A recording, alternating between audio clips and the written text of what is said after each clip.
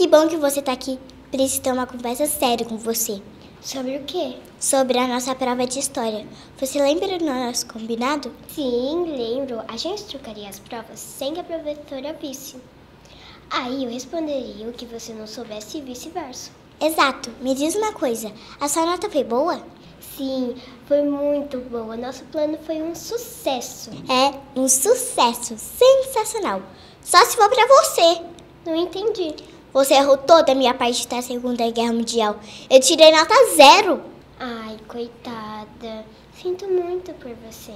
Agora você sente, né? Podia ter se esforçado um pouquinho mais. Você falou que sabia isso. A gente não assinou nada dizendo que eu tinha que acertar na sua prova.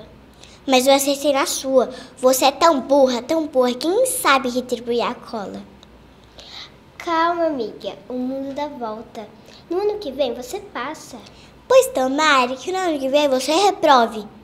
Ah, que cai um raio na sua cabeça. Quanto estresse.